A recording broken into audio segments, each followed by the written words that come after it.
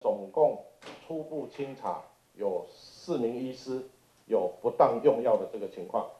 所以在呃十六号我们就裁定停业一到六个月。临时召开记者会，陈其迈语气凝重，就是因为新北私幼喂药案让高雄也绷紧神经，而且查出四名医生不当使用，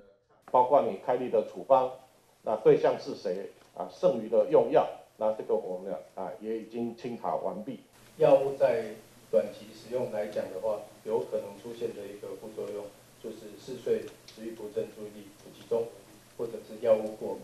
市府以药追人，全面清查，确认全市两千七百零二家医院、诊所及药局，共有一百四十五家持有苯巴比妥，当中竟然有四名医生出现不当使用苯巴比妥，并裁定他们停业一到六个月，并科十一万到三十一万元的罚款。初步查出至少有二十名幼童受到影响，其中还有不足两岁的幼童，但被点名的医生也跳出来喊冤。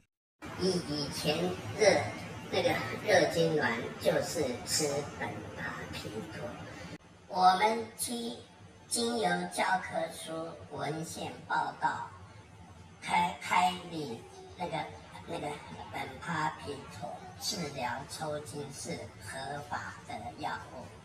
强调开立处方签所使用的药物就是拿来处理热痉挛，也拿出文献来澄清绝无不当使用。现在官方抢先开罚，基层医生人心惶惶，喂药案也从北烧到南。环宇新闻林伟凯、林伟旭、李若彤在高雄的采访报道。请订阅、按赞、分享环宇新闻 YouTube 频道，并开启小铃铛，及时掌握全球时事与最新趋势。